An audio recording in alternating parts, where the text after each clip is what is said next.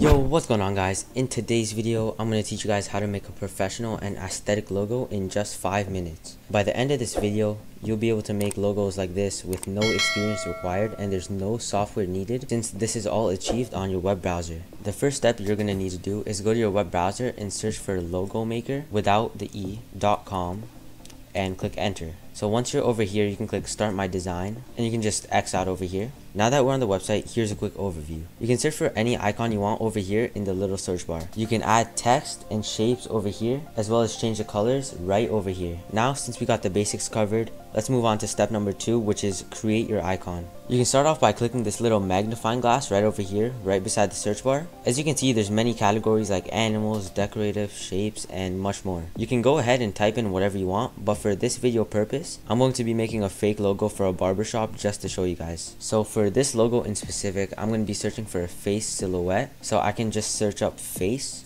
and look at this. There's over 1,000, if not, there's limitless amount of silhouettes you can get over here. So I'm to go over here and get this one. So once we're back in the main screen, we can move it. We can move it around, just hold and drag it. We can also change the size by clicking one of the corners and resizing it. So I'm to leave it over here. So now we're want to make it more unique since this is pretty basic. So now we're to go back in the search bar and now we're to search for scissors. And once again, there's limitless options. So I'm to pick this one. And once we're back, we can also resize this as we want. So I'm to make it about this size. I'm to rotate it just like that.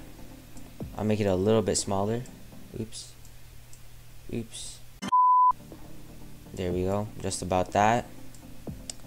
I'll rotate a little bit more right about there seems fine. This is what I really recommend to do is grabbing a bunch of icons or not a bunch but just grabbing a few icons and adding them into one logo to make them a little bit more customized instead of just having one icon. If one icon doesn't please you, you can add multiple to make it a little bit better for your liking. Okay, so now, since we're done with that, we can move on to step number three, which is adding your brand name. So we're gonna go over here to the text bar. We're gonna click it we got some text over here just for the sake of this video um type in anything you want.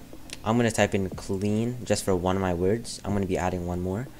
But for now we got this. We can adjust the size. We'll add it right about there. Then what we're gonna do we can copy paste this over here.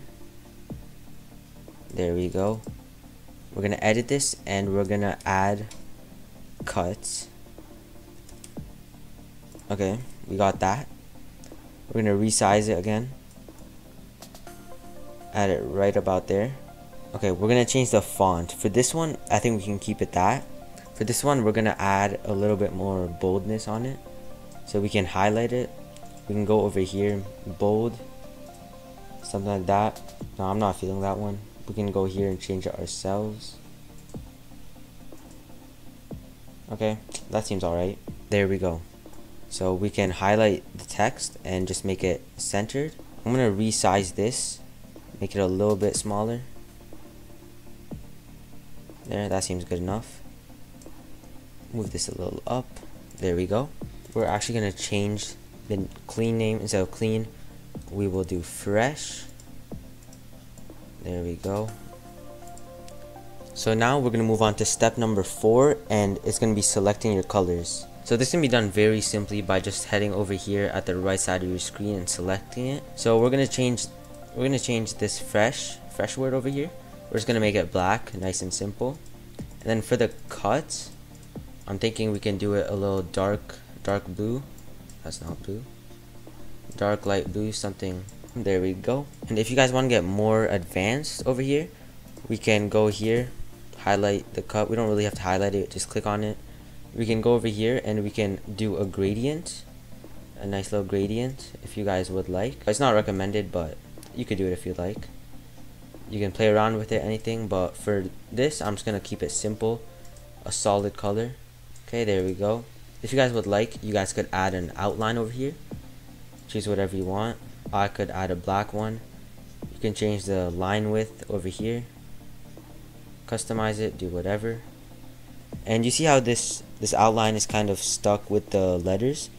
If you would like to fix that you can click on the text click over to styles and over here at letter spacing you can spread it out a little bit more.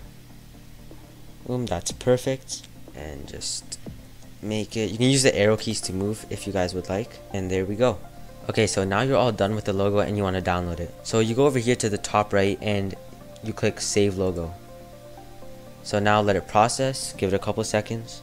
And so it'll show you high resolution license file that you have to pay but you don't really have to pay. You can go down here and click download low resolution png file. So you click that you enter your email accept and do that. So i'm going to do that right now. And then you want to click send files to email the pink red button whatever that is. And then now since it's all downloaded you can go in your email and you can check the file okay? And this is the final logo. Of course the background's removed so that's why it looks like this.